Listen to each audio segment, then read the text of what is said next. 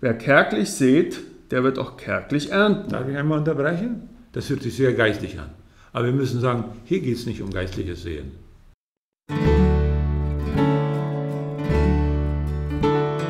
Liebe Hörer und liebe Hörerinnen von Radio ZB30, ich heiße Sie ganz herzlich willkommen zu einer neuen Sendung von Die Bibel erklärt. Mein Name ist Rainer Siemens und ich bin Theologiedozent hier am Bibelseminar SEMTA in San Lorenzo. Ich unterrichte Altes Testament, systematische Theologie und noch einige andere Fächer. Mit mir ist heute wieder Helmut Siemens. Äh, kannst du dich auch vorstellen? Äh, wie gesagt, mein Name ist Helmut Siemens äh, und ich habe heute das Vorrecht, hier mit Rainer Siemens zusammen zu sein. Nebenbei gesagt, er ist mein Sohn und das ist für mich eine Freude, mit ihm gemeinsam dieses, äh, diese Sendung zu gestalten. Ich bin Dozent für Theologie am SEMTA schon seit vielen Jahren. Ich unterrichte systematische Theologie, Homiletik, Einführung in die Bibel und verschiedene andere Fächer. Und es ist schön, wieder mit euch zusammen zu sein und über dieses wichtige Thema, auch die Geldtasche braucht Bekehrung, zu sprechen. Ja, genau, darum ging es ja schon das letzte Mal. Die, die Geldtasche braucht auch eine Bekehrung, haben wir beim letzten Mal äh, gemerkt. Da haben wir uns äh, ganz besonders den Text von äh, Malachi 3, die Verse 6 bis 12 angeschaut. Äh, ich würde dich doch gerne einmal bitten, dass du uns da eine Zusammenfassung gibst von dem, was wir bei der letzten Sendung äh, gesprochen haben. Gott hat dort sehr stark und sehr hart zu Judah gesprochen und gesagt, äh, ihr seid Betrüger, ihr bestiehlt mich, ihr beraubt mich. Sie haben gefragt, warum? Weil ihr nicht den Zehnten abgebt. Wir haben gesagt, das war eine schwere wirtschaftliche Situation, aber trotzdem sagt Gott, ich brauche eure Umkehr, ich brauche eure Bekehrung, ich brauche die Bekehrung eurer Geldtasche. Und Geldtasche steht hier einfach nur als Symbol für den Umgang mit Geld. Ich brauche das, ich will das von euch. Und ihr sollt den ganzen Zehnten in meine Scheine bringen, trotz der schwierigen Lage. Am wenigsten in schwierigen Situationen wird am Gottesdienst gespart. Und dann hat Gott gesagt, äh, Ihr bringt das und ich mache euch ein Gegenangebot. Prüft mich. Und ich werde die Fenster des Himmels auftun, Segen herabschütten bis zum geht nicht mehr. Wohlgemerkt, das ist kein Automatismus, das ist kein Text für ein Wohlstandsevangelium, aber Gott verspricht Segen. Und äh, ja, er verspricht Segen und äh, wir haben dann auch gesagt, was tun, wenn es wirtschaftlich schwer geht, bei vielen geht es heute wirtschaftlich schwer. Wir leben eine schwierige Situation, auch in Paraguay. Und wir haben voriges Mal, vorige Woche gesagt, jetzt erst recht. Das wäre, was Gott von uns hören würde wollen. Jetzt gebe ich erst recht viel. Und dafür sollten wir heute einsteigen, wäre mein Vorschlag. Ja? Jetzt erst recht, äh, somit hatten wir beim letzten Mal aufgehört. Das hat ja auch einfach damit zu tun, äh, wenn ich mich recht entsinne. Das zeigt das ist eine Vertrauenshaltung. Genau. Ich, auch in wirtschaftlich schwierigen Situationen, vertraue ich darauf, dass Gott mich versorgen wird. Und deshalb kann ich geben. Deshalb kann ich geben, genau. Ja. Weil ich weiß, dass er wird mich versorgen. Ja, genau, daraus kann man keinen Mechanismus machen, wie viele das gerne machen. Wenn ich so und so viel gebe, dann werde ich zehnmal oder hundertmal zurückkriegen. Äh, dann kann ich mir irgendwann eine Villa kaufen, aber er wird mich versorgen und deshalb kann ich auch jetzt geben, wo wir vielleicht eine Trockenheit haben, wo die letzte Ernte nicht so gut ausgefallen ist, wo wir eine hohe Inflation haben. Das Ganze, äh, Malachi sprach ja vom Zehnten. Ja. Heute in diesem Programm wollen wir uns den Zehnten gesamtbiblisch anschauen. Also wir wollen uns gewisse Texte aus dem Alten Testament und gewisse Texte aus dem Neuen Testament anschauen. Wo fangen wir da mal an? Ich möchte das unterstreichen, dass wir bei all diesem bei dieser Untersuchung in dieser kurzen Zeit immer nur selektiv vorgehen können. Wir können nicht das ganze biblische Bild des Geldes und des Zehntes äh, total ausschöpfen. Und deshalb fangen wir mal an bei 1. Mose Kapitel 14, Vers 20. Äh, da geht es um Abraham. Würdest du das lesen wollen? 1. Also 1. Mose äh, 14, Vers 20, ja. Vers 20. Und Melchisedek sagt da zu Abraham, und gelobt sei Gott, der Allerhöchste, der deine Feinde in deine Hand gegeben hat.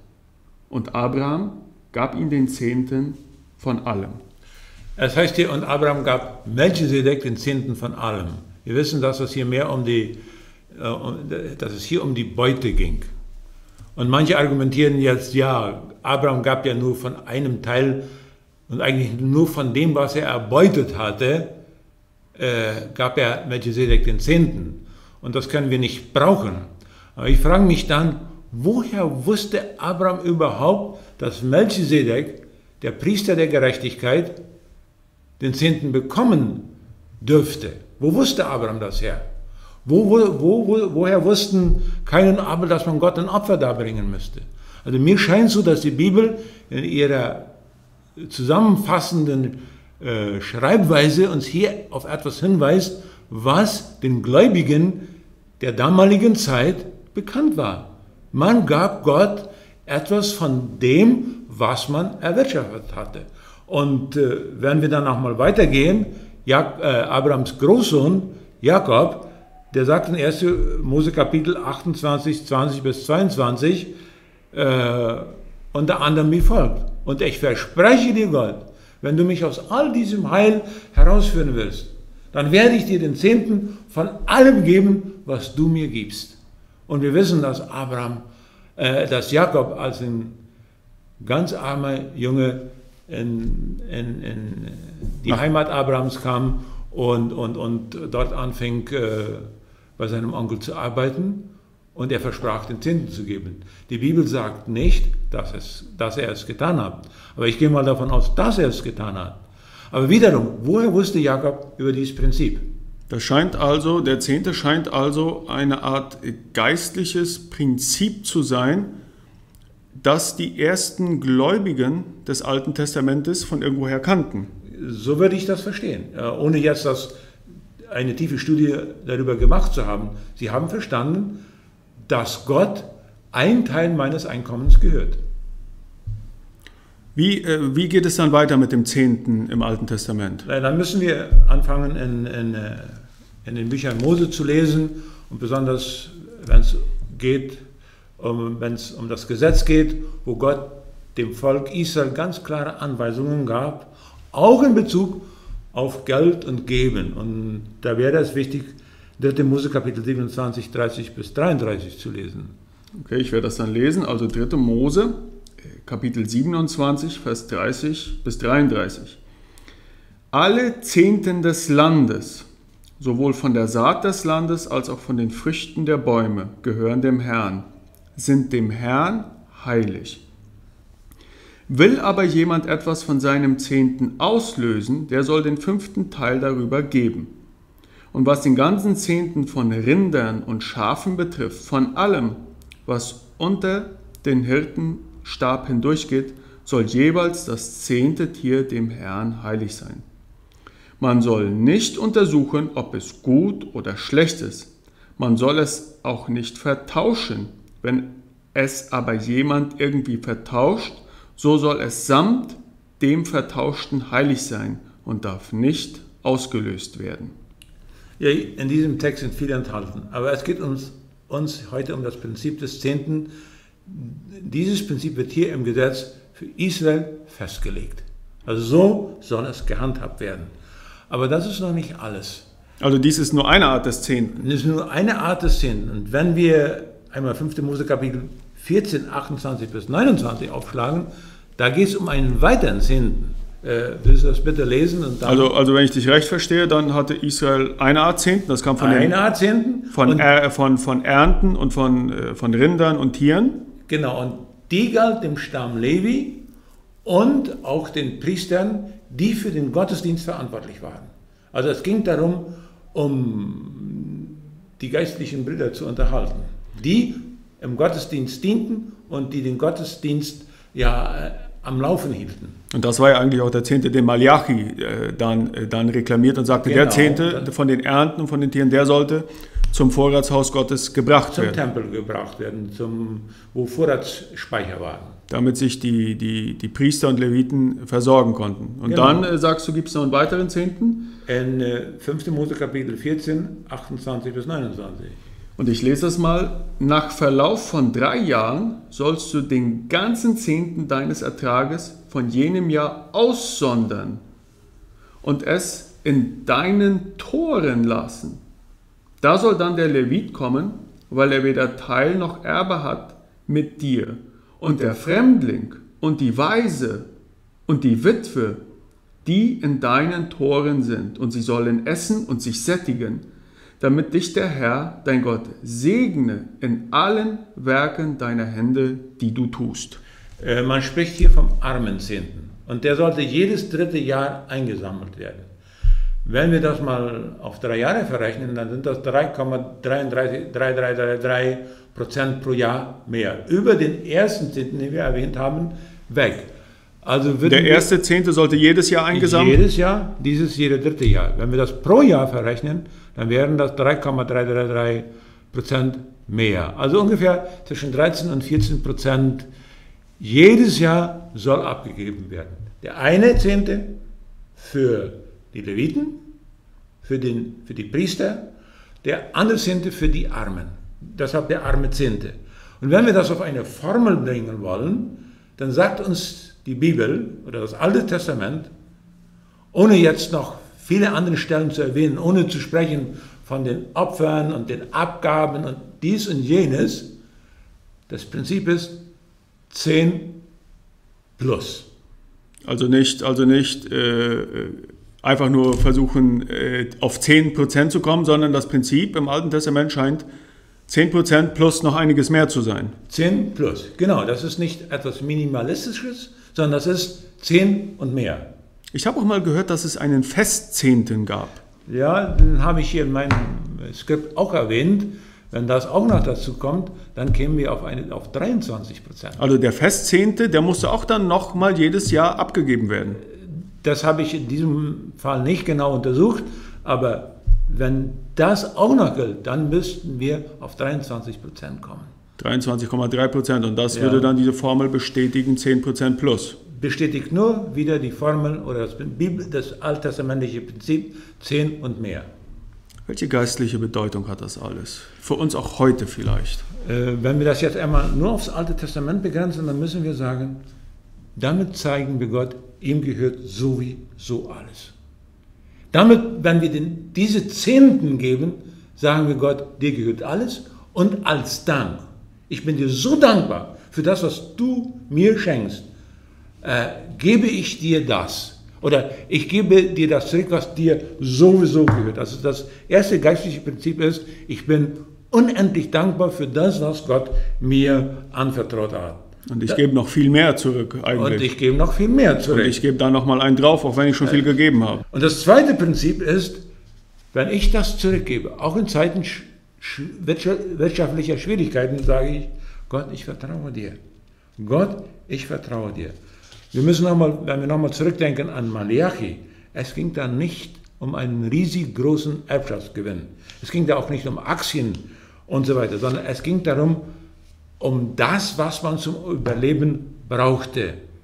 Äh, und damals gab es keine Sozialversicherung, keine Krankenversicherung, keine Absicherung in irgendeiner Form. Und das den Zehnten geben in einer solchen Gesellschaft war wirklich ein Glaubensschritt, ein Vertrauensschritt. Gott, ich vertraue dir, dass du äh, mich nicht wirst hängen lassen. Also um das nochmal äh, auseinanderzuteilen, äh, viele, viele Leute fragen ja, wenn ich äh, Zehnten gebe, wie, wie berechne ich das? Also wenn zum Beispiel, wenn ich Aktien habe in der Firma oder mein, mein Land an Wert dazu gewinnt, äh, das ist nicht hier gemeint, äh, sondern was hier gemeint ist, scheint doch eher so zu sein, das, was ich mit meinem Kapital erwirtschafte, davon gebe ich 10 oder 20 oder 30 Prozent ab. Ja, das geht, ja, ist genau richtig. Es geht hier um das, was ich mit dem, was ich habe, jedes Jahr erwirtschafte. Und äh, Und, Da- und, und dann ist es noch äh, eine zweite Sache, die ich interessant fand. Wir hatten, du sagtest, wir hatten, damals gab es keine Sozialversicherung, keine Krankenversicherung. Also wozu waren diese Zehnten dann da? Na, zum Beispiel der, der Armenzehnten war dafür da, um die Armen zu helfen, um die Fremdlinge. Auch der Nichtjude, auch der Nicht-Israelit, wenn er in den Grenzen Israels wo- wohnte, sollte es so gut haben, dass er genug zum Überleben hatte. Und dafür war dieser Zehnte jedes dritte Jahr. Also wir, damit sagt man auch ganz klar, und damit kommen wir zu einem dritten geistlichen Prinzip im, im Alten Testament, das ist Solidarität. Mit dem Geben des Zehnten erkläre ich mich solidarisch mit dem Leviten, mit der Witwe, dem Waisen, den Waisen, den Fremdlingen und denen, die das nötig haben. Wir haben hier praktisch drei starke geistliche Prinzipien. Erstens, ich bin äh, dankbar, ich vertraue und ich erkläre mich solidarisch mit all denen, die es nicht so gut haben wie ich. Und diese drei äh, geistlichen Prinzipien, die werden durch diese verschiedenen Formen des Zehnten im Alten Testament ausgedrückt. Und mit der Formel, wie du es sagtest, 10 plus. 10 plus, genau. Das, das hast du ganz richtig auf den Punkt gebracht. Und jetzt müssen wir uns fragen, ist das Neue Testament mit dabei oder ist da was anderes? Ja, wie sieht das Neue Testament das denn jetzt? Äh, meistens wird ja gesagt, das Neue Testament sagt nichts zum Zehnten. Jesus hat den Zehnten eigentlich nicht erwähnt. Das ist nicht ganz richtig. Jesus erwähnt in Matthäus Kapitel 23 und 23, das ist leicht zu behalten, Matthäus 23, 23, erwähnt er den Zehnten. Und ich bitte dich, das einmal zu lesen. Moment, ich suche es gerade in meiner Bibel. Äh, Du sagtest Matthäus 23, 23. 23. Und da heißt es, oho, ein Wehewort, eine harte Androhung. Wehe euch, ihr Schriftgelehrten und Pharisäer, ihr Heuchler, dass ihr die Minze und den Anis und den Kümmel verzehntet und das Wichtigere im Gesetz vernachlässigt, nämlich das Recht und das Erbarmen und den Glauben. Dies sollte man tun und jenes nicht lassen. Es ist richtig, wenn jemand jetzt bemerkt, ja, es ist ein Wehewort an die Pharisäer. Aber für mich beinhaltet das ein paar ganz wichtige Prinzipien. Erstens, Jesus bestätigt den Zehnten des Alten Testaments. Er verneint auch nicht, dass die Pharisäer und Schriftgelehrten sehr kleinlich damit waren, also eigentlich mehr taten, als sie zu tun brauchten, laut alttestamentlichem Gesetz. Das verneint Jesus Christus absolut nicht. Also er, er, er hinterfragt nicht, dass sie den Zehnten auf gewisse Produkte geben. Nein, das hinterfragt er. Das hinterfragt er nicht. Was er hinterfragt ist, was ist deine Haltung? Was machst du mit, mit Recht und Gerechtigkeit und so weiter? Also was er hinterfragt ist, ja, ihr gebt zwar den Zehnten auf gewisse landwirtschaftliche Produkte, vergesst aber, euch um das Recht der vernachlässigten Menschen zu kümmern. Recht, Barmherzigkeit und so weiter. Also das geht, was macht ihr mit den Armen bei, bei euch? Was Das würde, würde man eigentlich fast sagen, also die hatten zwar, die brachten den Zehnten zum Tempel, vernachlässigten aber das, was du den armen Zehnten höchstwahrscheinlich nennst. äh, irgend, irgendwas steht dahinter, was hier nicht genau definiert wird, aber vielleicht im Zusammenhang mit dem Alten Testament könnte man sagen, ich möchte da nicht absolut werden, aber höchstwahrscheinlich haben sie Recht verletzt, sie haben äh, höchstwahrscheinlich haben sie Leute ausgebeutet und sie haben die Barmherzigkeit vergessen. Und Barmherzigkeit hat ja immer was mit dem Nächsten zu tun. So, also sie haben sich nicht um die Bedürftigen gekümmert. Und Jesus sagt, tut dies und lasst das andere nicht. Kümmert euch um Recht und Gerechtigkeit, aber lasst das Tintengeben nicht. Und äh, genau denselben Vers finden wir auch in Lukas Kapitel 18, 12. Das ist die Parallele, aber das Neue Testament erwähnt dieses zweimal. Und, äh, und wenn wir den griechischen Text studieren, dann ist das ein Imperativ, das ist ein Befehl. Es ist nicht, ihr dürft, ihr könnt vielleicht mal sehen. Nein, tut das, tut das. Das ist damit äh, äh, ausgesagt. Wenn wir dann weitergehen im Alten Testament, dann landen wir irgendwann äh, bei Paulus. Und zwar im zweiten Korintherbrief. 2. Korinther, die Kapitel 8 bis 9 sind da sehr, sehr, wie soll ich das sagen? Sie, sie vertiefen eigentlich das, was die Haltung Jesu war oder was die Haltung in den Evangelien ist, wird dann nochmal eigentlich vertieft.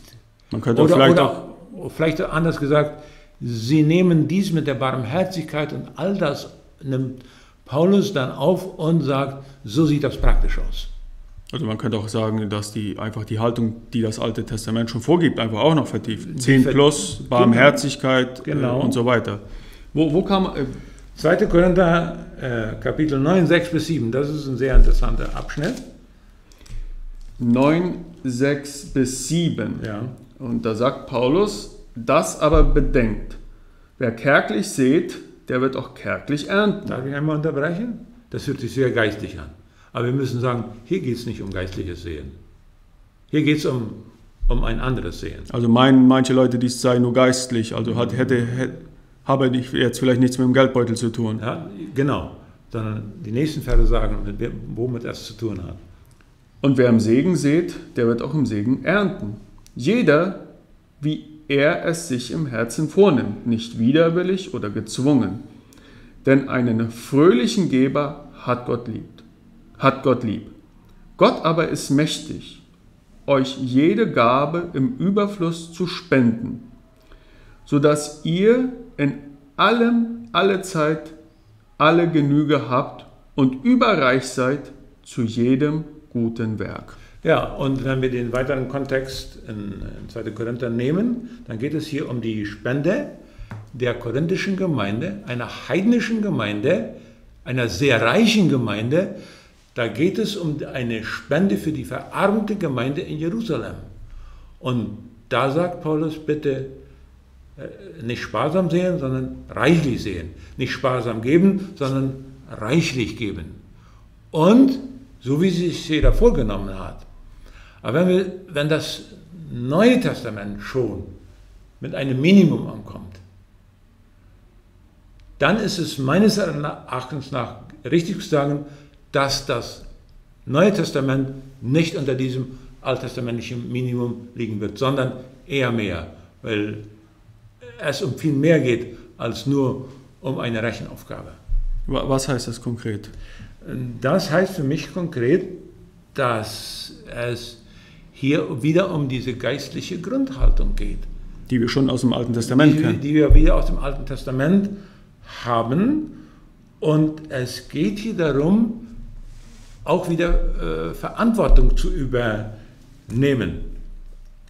Und äh, um vielleicht noch, bevor wir weitergehen, um vielleicht noch auch ein Beispiel zu zeigen, sollten wir uns 2. Korinther 8, 1 bis 4 lesen. Da wird uns gezeigt, äh, wie die Geberhaltung sein soll für die verarmte Gemeinde in Jerusalem. Und da wird eine, werden die Mazedonier erwähnt. Wenn du das bitte liest, dann also werden wir mal was. 2. Korinther 1, äh, 8, Verse 1 bis? Äh, 1 bis 4. Und ich lese, wir wollen euch aber, ihr Brüder, von der Gnade Gottes berichten, die den Gemeinden Mazedoniens gegeben worden ist. In einer großen Prüfung der Bedrängnis hat ihre überfließende Freude, also sie lebten auch unter Bedrängnis, ja. Hat ihre überfließende Freude und ihre tiefe Armut die Schätze ihrer Freigebigkeit zutage gefördert. Sie waren arm. Denn nach ihrem Vermögen ja ich bezeuge es, über ihr Vermögen hinaus waren sie bereitwillig. Und sie baten uns mit vielem Zureden, dass wir die Liebesgabe und ihre Gemeinschaft am Dienst für die Heiligen annehmen sollten. Ich glaube, klarer kann es nicht werden. Oder müsste da nachher erklärt werden? Also die haben sich verschuldet. Eigentlich haben die sich verschuldet. Die haben mehr gegeben, als sie konnten. Vielleicht haben sie sich selbst das vom Mund abgespart und ihren Kindern und ihren Familien sagen, denen in Jerusalem geht es noch schlechter als uns, wir geben ab. Äh, wenn wir jetzt mal ein paar Tage hungern oder, oder fasten und so weiter, das wird uns nicht umbringen. Aber in Jerusalem, denen geht es noch schlechter als uns. Und, und damit kommt wieder eine geistliche Grundhaltung zum Ausdruck und die wiederholt sich eigentlich vom Alten Testament. Wenn Paulus dies so schreibt, was will er damit sagen? Alles gehört Gott? Und ich ehre Gott, wenn ich das für die Armen in Jerusalem gebe. Gott gehört alles. Und hier ist aber ein Geben nicht im Gesetz verankert, wie im Alten Testament, äh, ab äh, 2. Mose im Gesetz verankert, sondern hier wird das in der Großzügigkeit Gottes uns gegenüber verankert. Denn in dem Text in 2. Korinther Kapitel 9 wird uns auch gesagt, dass Gott seinen Sohn für uns gegeben hat. Gott ist so großzügig gewesen zu uns, er hat seinen Sohn gegeben zu unserem Heil. Wir können sagen, er hat alles gegeben.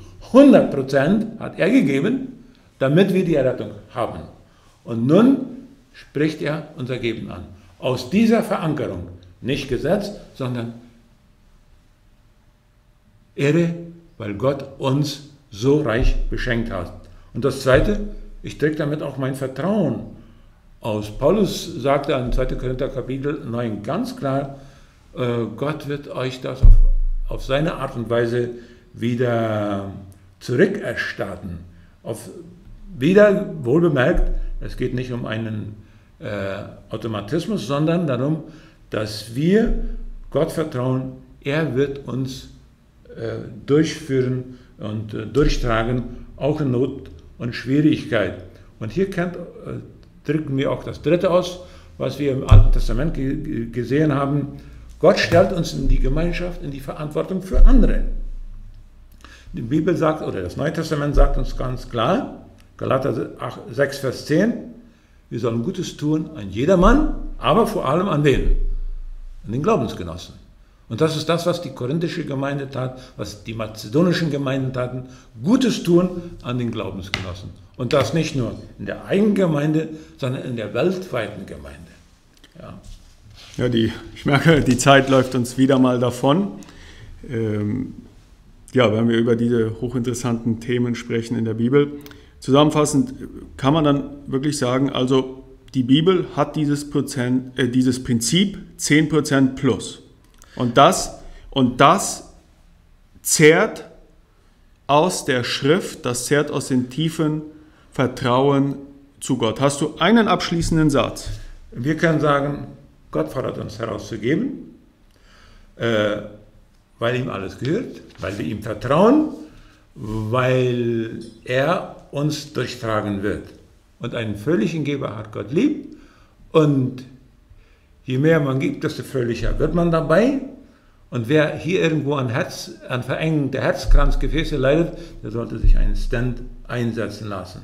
Einen geistlichen Stand. Einen geistlichen Stand einsetzen lassen und nicht warten, bis er die Freude hat, sondern auf die Freude hinarbeiten.